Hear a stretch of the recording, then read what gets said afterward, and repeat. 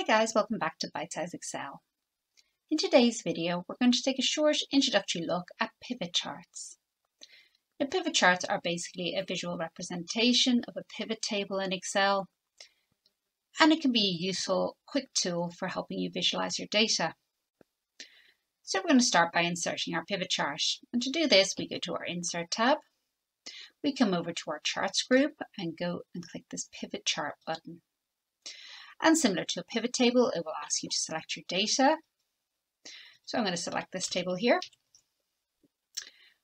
Once you've got it and making sure that you're putting it in where you want to put it in, we click OK.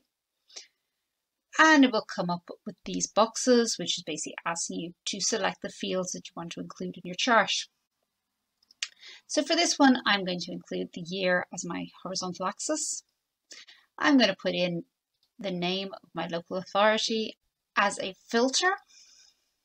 And then I'm going to include some of these totals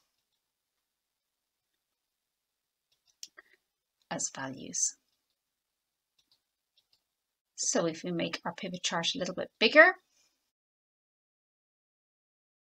So what it's done here is it's looked at our data, it's put it in as a bar chart, and it's included some little drop downs where we can filter.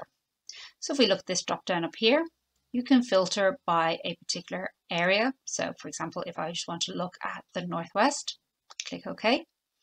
It will just show me the data for that particular region. You can also filter using this filter button over here in your pivot table. You can also select multiple items. So say I want to look at the Northeast and the Northwest together. It'll give me that data.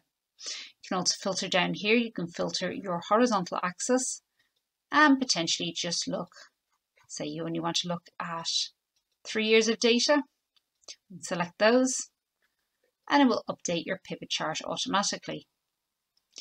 Pivot charts can be quite useful in a dashboard where you quickly want to generate a chart that's summarizing your data in a particular way. Similar to any other charts within Excel, when you're clicked into the chart, it will come up with this design and format button up here. And if we click on these, you can have a play around with how your chart looks.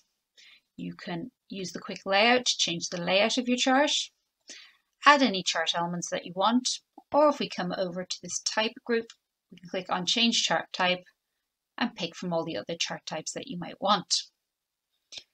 If you'd like to know a little bit more about setting up your charts, I've got a number of other videos on this topic.